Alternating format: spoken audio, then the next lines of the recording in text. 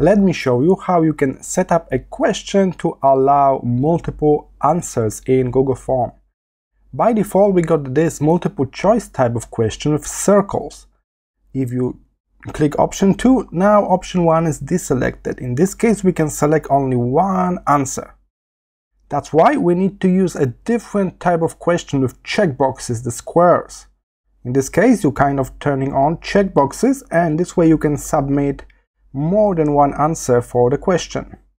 So let's go back to the editing mode. Here it is. This is the default one, multiple choice. You must change this to checkboxes.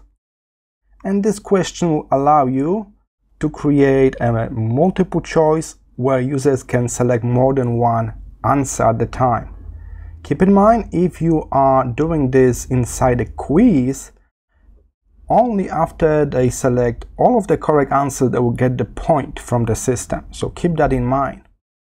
Alright, so that's how you do it. Change multiple choice to checkboxes and from there your viewers, your users, your responders will be able to select more than one option for the question. I hope this tutorial was helpful and I will see you in the next lesson.